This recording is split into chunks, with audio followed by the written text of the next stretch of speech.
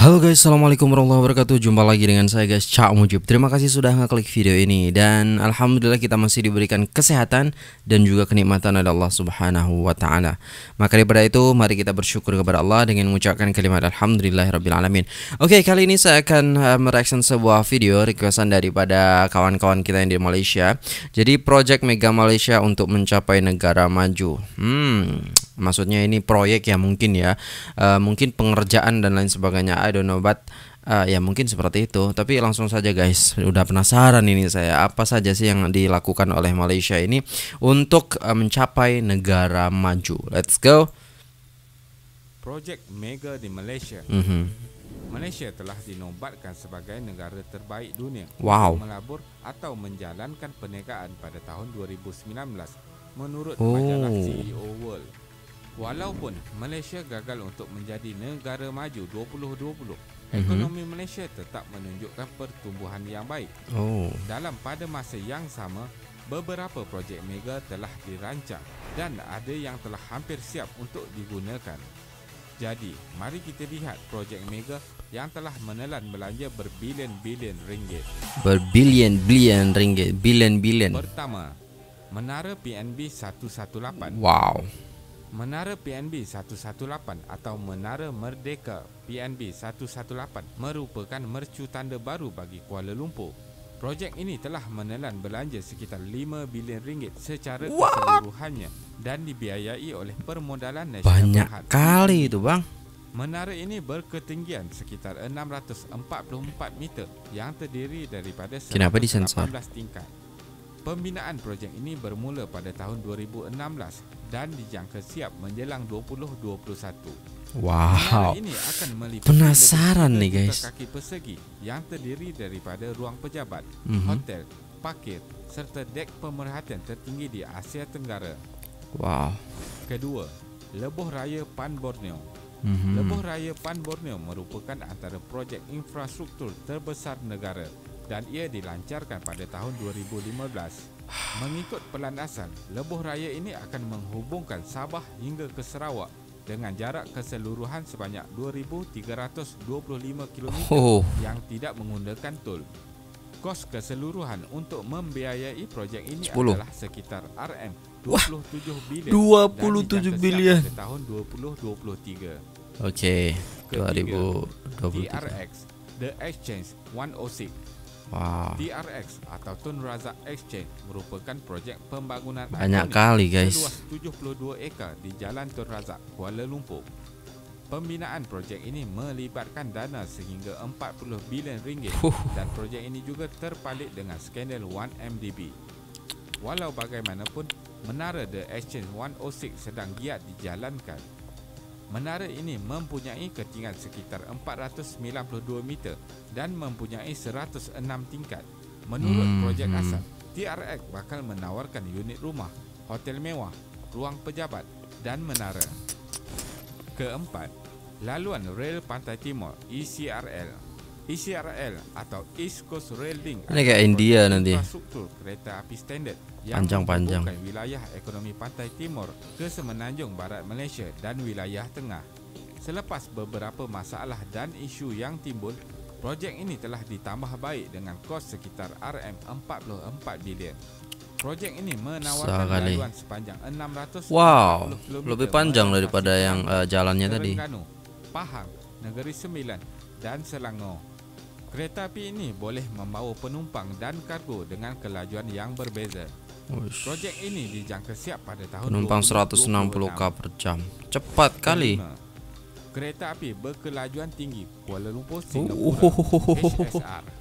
Pada September 2010, Perdana Menteri ketika itu telah mengumumkan mengenai pembinaan projek kereta api ini yang melibatkan Malaysia dan Singapura. Kos yang Mantap. ditanggung kerajaan dianggarkan sekitar 77 bilion.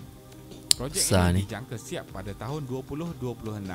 How? Mengikut pelan asal, projek ini menawarkan kereta api berkelajuan tinggi sejauh 350 km dari Kuala Lumpur ke Singapura yang mengambil masa sekitar 90 minit sahaja Au. dengan kelajuan maksimum 320 km sejam. Aduh, Keenam. semuanya semakin dekat. Bandar Malaysia Oke. Bandar Malaysia merupakan sebuah projek yang dibangunkan di lapangan terbang lama Pangkalan Udara Kuala Lumpur di Sungai Besi.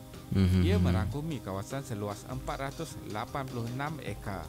Kos pembinaan secara keseluruhan bernilai sekitar RM140 bilion. Wow. Projek ini akan mengambil masa ni. selama 15 hingga 25 tahun untuk disiapkan sepenuhnya. Mhm. Ia bakal menawarkan ribuan rumah mampu milik dengan kemudahan seperti LRT, MRT serta HSR. Ketujuh, terakhir dalam senarai adalah Forest City. Forest City. Forest City merupakan projek mega yang bernilai Oh. sekitar RM410 bilion yang Best terletak di Johor. sangat. Projek ini dibina atas empat pulau buatan manusia. Selepas siap dibina, Forest City dianggarkan akan didiami sekitar 700,000 orang penduduk. Ia menawarkan Wow. kediaman mewah, sekolah antarabangsa, pusat beli belah, hotel dan banyak lagi. Mengikut satu kenyataan, harga kediaman yang dijual di sini bermula RM600,000. Projek Mhm. ini dijangka siap pada tahun 2030. Mhm. Kesimpulannya, projek-projek mega yang dilaksanakan ini haruslah memberi impak yang lebih besar kepada ekonomi negara Yep. serta membuka lebih banyak peluang pekerjaan kepada rakyat Malaysia. Betul. Peluang pekerjaan yang diwujudkan pula haruslah dengan gaji yang lebih baik supaya Malaysia dapat mencapai status negara maju pada masa hadapan. Terima kasih kerana menonton dan jangan lupa subscribe. Terima kasih. lagi. Oh.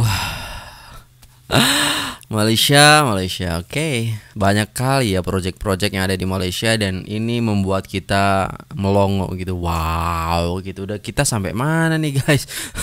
Aduh. Sepatutnya kita itu membuka apa namanya ya, cara pandang kita terhadap Malaysia. Jangan sampai kita tuh hanya apa ya namanya ya, sukanya kayak kadang mengucilkan seperti itu. Ya mungkin eh, bukan semuanya tapi beberapa oknum sebagian yang memang kayak mengkucilkan terus setelahnya menghina terus ya istilahnya mengejek dan lain sebagainya. Gini guys saya kasih tahu apabila teman-teman itu mengejek seseorang maka itu tandanya teman-teman sedang mengejek diri teman-teman sendiri dan apabila teman-teman itu menghina orang lain sama halnya menghinakan diri sendiri. Istilahnya seperti itu. Nah kalau kita itu senantiasa mengejek orang mengejek negara dan lain sebagainya orang-orang Malaysia dan lain sebagainya maka itu sama halnya. Apabila kita me, apa namanya berkata kotor kepada mereka sama halnya teman-teman itu berkata kotor untuk diri diri teman-teman sendiri. Nah seperti itu. Jadi bagaimana supaya kita aman dan lain sebagainya supaya kita menjadi lebih baik maka sanjunglah orang ya kan sanjunglah orang dengan hati yang ikhlas maka di situ Allah Subhanahu wa taala akan membalasnya dengan sanjungan kepada kita. Mendoakan orang lain dengan baik, maka Allah akan memberikan doa itu kepada kita. Sama seperti itu. Maka daripada itu teman-teman, jangan sampai kita itu aduh, nggak ngerti lah. Kalau di sosial media itu Indonesia sama Malaysia ini banyak oknum-oknum yang memang kayak ya ingin mengadu domba dan lain sebagainya. Ya istilahnya kalau kita ingin maju, maka kita harus open minded. Harus ah buka wawasan kita, buka cara pandang kita.